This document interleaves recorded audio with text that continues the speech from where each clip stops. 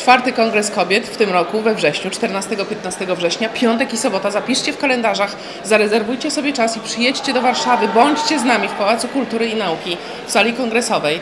Będzie bardzo dużo ciekawych dyskusji, sesji plenarnych, paneli równoległych, warsztaty, pokazy, prezentacje, mnóstwo atrakcji w Parku Kobiet. Będzie się naprawdę dużo działo. O kobietach, dla kobiet, przez kobiety zorganizowany kongres.